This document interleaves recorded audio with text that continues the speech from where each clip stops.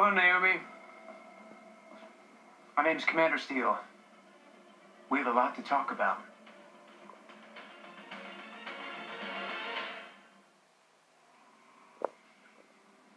Do you know who I am, Naomi? You work with my dad? That's right.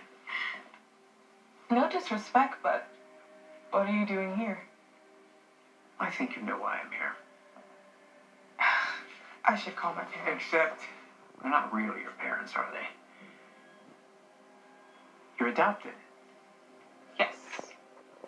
But adopted from where? Somewhere on the East Coast. Ah, right. The East Coast. Or maybe somewhere farther away. Do you believe that life exists on other planets? I haven't really thought about it. I don't like to refer to these beings as aliens. It's become too mainstream, too innocuous. Because really, they're a danger to our way of life. Our very existence.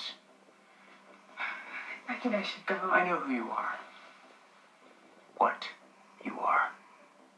There has to be some kind of mistake. This is called an S-Run.